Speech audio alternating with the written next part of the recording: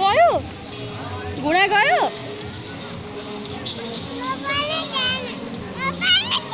ए तेरिका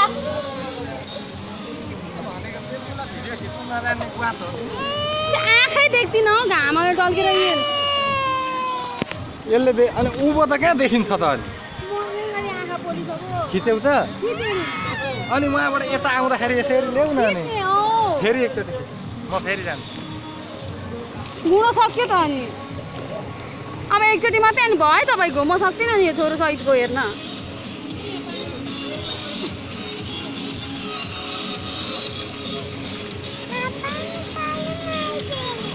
अघि खेलेको त अघि भयो भनेको होइन अनि।